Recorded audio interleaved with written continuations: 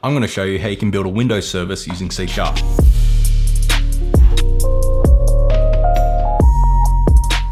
So some quick information before we actually start the video. Here's the timestamp to go straight to the code.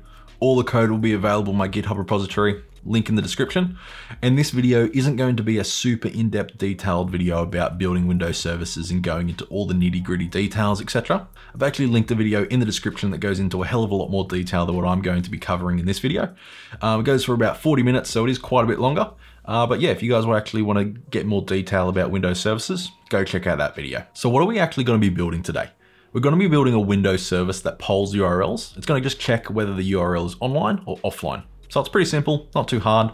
So let's jump into Visual Studio. Let's get after it. So let's create a new project. File, new project. And the template we want to choose is worker service. What we'll see is we'll have a program.cs and a worker.cs. So this worker.cs is going to be the main business logic or the main part of our actual application here. So this is actually going to be our Windows service and the logic behind it. We have one method here, an execute async, and there's a, just a while loop until cancellation is requested. So this is going to run forever until the application is shut down. Um, and one great thing about this actual template is it allows for dependency injection. So this logger here is actually a part of dependency injection and is injected into the service. So you can do you can do that with all of your other services as well. So let's create a method here. Uh, so async task, and let's just say um, poll URLs. But let's just wrap this in a try catch. Try catch finally. So let's just add some logging real quick. So just gonna say an error occurred. So now let's actually create our list that our URL is gonna live in. So we're just gonna create a list of strings call that URLs. It's just going to be a new list of string for the time being. And let's just do https google.com. Cool. So now what we want to do is we just want to loop through each of our URLs and then we want to, to poll each of them. URL in URLs. Let's actually create a list of tasks. Since we're going to be making GET requests, we're going to have to add a NuGet package. So come up to your solution here, go manage NuGet packages, what we're going to be adding is microsoft.extensions.http. Download that. So what that package that we just added is going to give us access to is the iHTTP client factory. And this is how we're going to be creating our HTTP client. So since we're going to be polling URLs, I'm going to create another async method here, poll URL, and this one is actually going to poll the individual URL. So to start us off, let's just create a try catch. In this catch, we're just going to log to say that our URL is offline. I'm going to create a client, HTTP client, using the NuGet package that we just added. So we have our HTTP client factory. And we're going to create a client, and then we're going to have a response. So what we're going to do is we're going to await client.getAsync, and we're going to pass it in the URL. And then if our response is a success status code, then we're just going to log to say uh, the URL is online. Otherwise, we're just going to log again to say the URL is offline. Back up in our polls, poll URLs method, so we see that we have a list of tasks. So essentially what we're going to do, since we have this URL here, we're going to add the tasks and we're going to run them all at the same time. So we're going to go poll URL and it's going to be URL. And then what we're going to do is go task.whenAll tasks. So when they all complete, that's when we know we're finished all we're really doing, we're coming into this method, we're doing an infinite while loop until our application has been requested to stop. And we're just going to poll URLs.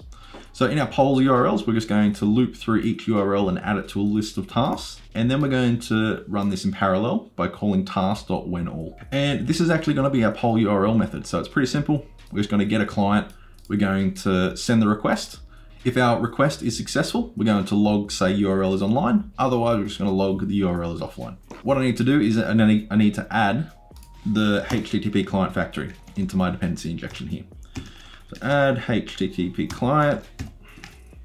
Cool. Now if I run that, that should work fine. Boom, there we go. Google is online. Google is online. So it's working.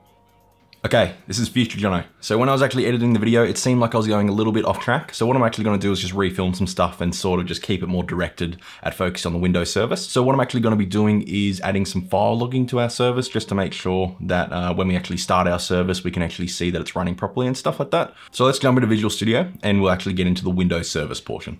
Let's do it.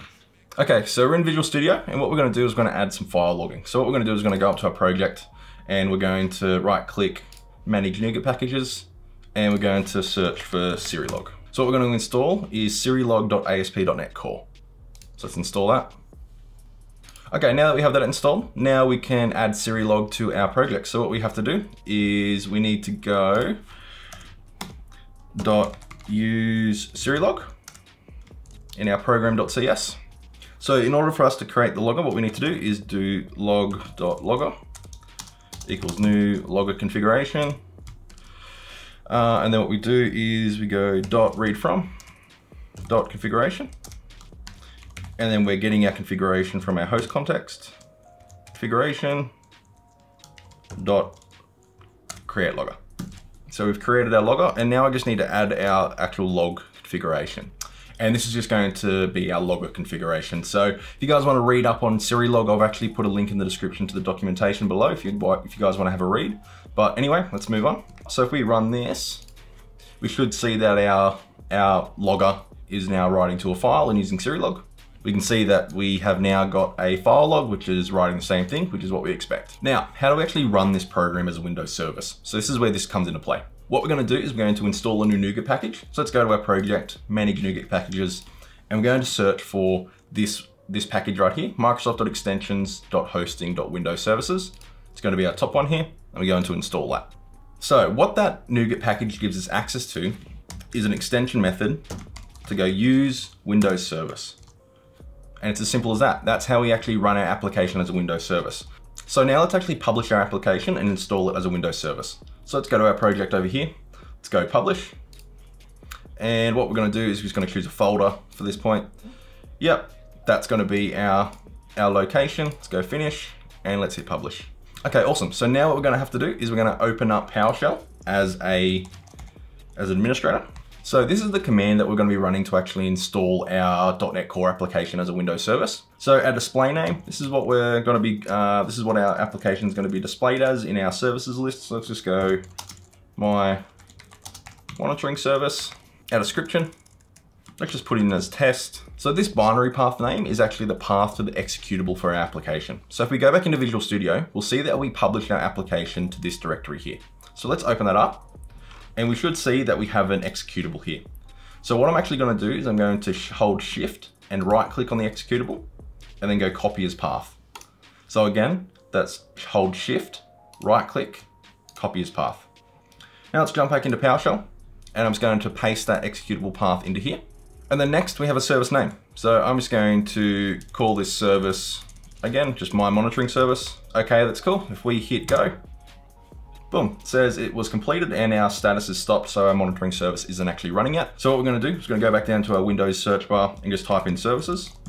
And now this window will be displayed. So if we go down to my monitoring service, we have our my monitoring service and it's currently not running. If I hit start, it says it's running, started, which is great. If we go back to our log file, we should see we now have a log, log file here and it's just running that Google is online.